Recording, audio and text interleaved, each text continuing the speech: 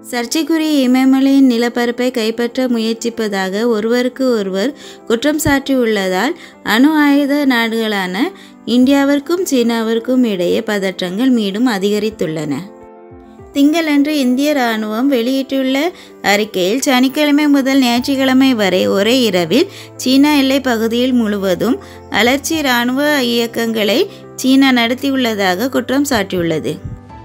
லடாக்கில் உள்ள பேங்காங் தீசோ ஏரியில் சீன இராணுவ நடவடிக்கைகளுக்கு இந்தியா துருப்புகள் ஏற்கனவே முற்றுப்புள்ளி வைத்ததாகவும் அதன் ஒரு பகுதி மே மாதத்தில் சீன துருப்புகள் மாற்றப்பட்டுள்ளது என்று அந்த அறிக்கையில் கூறப்பட்டுள்ளது. இதற்கு பதிலளிக்கும் விதமாக சீனா வெளியுறவு அமைச்சகம் குற்றச்சாட்டுகளை நிராகரித்தது. அதே நேரத்தில் சீனாவின் மக்கள் விடுதலை இராணுவத்தின் பிராந்திய கட்டளை திங்கட்கிழமை அன்று தனது பிரச்சாரத்தில் இந்தியா சீனாவின் பிராந்திய இறையாண்மையை கடுமையாக மீறியதாக குற்றம் சாட்டியுள்ளது. மேலும் இந்தியா துருப்புகளை திரும்ப பெறுமாறு கோரிக்கை விடுத்துள்ளது. லதாக்கின் கல்வான் பள்ளத்தாக்கில் இரு தரப்பினர்களுக்கு இடையே நடந்த மோதலில் இருபது இந்திய ராணுவ வீரர்கள் கொல்லப்பட்டனர் இரண்டு மாதங்களுக்கு மேலாக வந்த சமீபத்திய எல்லை பிரச்சனையை தீர்க்க இருதரப்பு ராணுவ அதிகாரிகளும் பேச்சுவார்த்தைகள் நடத்தி கொண்டு இருந்தனர். அதிகரித்து வரும் பதற்றங்களை தீர்க்க மே மாதம் முதல் இரு தரப்பினர்களுக்கு இடையே பேச்சுவார்த்தைகள் நடந்து கொண்டு இருந்தனர். ஆனால் இந்த பேச்சுவார்த்தை நடந்து கொண்டு இருந்த போதே ஜூன் பதினைந்தாம் தேதி அன்று வன்முறை மோதல் வெடித்தது. இதில் இருபது இந்திய ராணுவ வீரர்கள் மற்றும் அறியப்படாத எண்ணிக்கையில் சீன ராணுவ வீரர்கள் கொல்லப்பட்டனர் இரு தரப்பினர்களுக்கு இடையிலான பேச்சுவார்த்தைகள் உண்மையிலே சீற்றமுடன் இருந்தன.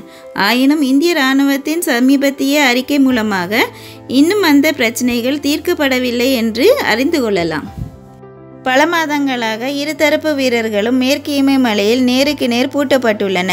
அங்கு ஒவ்வொரு பக்கமும் கிட்டத்தட்ட மூவாயிரத்தி ஐநூறு கிலோமீட்டர் நீளமுள்ள எல்லையை மீறியதாக ஒருவருக்கு ஒருவர் குற்றம் சாட்டுகின்றனர்.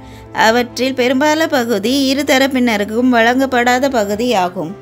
ஜூன் மாதத்தின் பயங்கர எல்லை மோதலின் எதிரொலியாக இந்தியா சீனாவின் பிரபல வீடியோ பகிர்வு செயலி டிக்டாக் உட்பட டசன் கணக்கான செயலிகளை மற்றும் சீனா முதலீட்டுகளை தடை செய்து உள்ளது இந்தியாவின் வெளியுறவு அமைச்சர் சுப்பிரமணியன் ஜெய்சங்கர் கடந்த வாரம் ஒரு நேர்காணலில் ரெடிஃப் டாட் காமிடம் தற்போதைய சூழ்நிலை ஆயிரத்தி தொள்ளாயிரத்தி அறுபத்தி ரெண்டுக்கு பிறகு மிகவும் மோசமான நிலைமையாகும் நாற்பத்தைந்து ஆண்டுகளுக்கு பிறகு இந்த எல்லையில் எங்களுக்கு இராணுவ உயிரிழப்புகள் ஏற்பட்டுள்ளன. தற்போதைய இரு தரப்பினர்களும் எல்ஐசியில் நிறுத்தப்பட்டுள்ள படை வீரர்களின் அளவு முன்னோடி இல்லாதது என்று கூறினார். உலகின் மிக உயர்ந்த விமான தரையிறங்கும் பகுதி உலகின் மிகப்பெரிய நீர்ப்பாசன அமைப்புள்ள ஒன்றான பனிப்பாறை மற்றும் சீனாவின் பரந்த பிளேட் மற்றும் சாலை உட்கட்டமைப்பு திட்டம் ஆகியவற்றை பெருமைப்படுத்தும் ஒரு பண்டைய நிலப்பரப்பின் சர்ச்சைக்குரிய பகுதியின் மீது உள்ளது. இவையெல்லாம் காரங்கோர மலையின் தற்போதைய நிலைப்பாட்டுக்கு காரணம். இந்த சர்ச்சைக்குரிய நிலைப்பாட்டு ஏப்ரல் மாதத்தில் மூன்று வெவ்வேறு இடங்களில் தொடங்கியது.